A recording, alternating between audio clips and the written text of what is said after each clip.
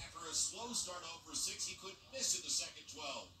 And give it a try. Dad, that is amazing. What do you call that, a heave?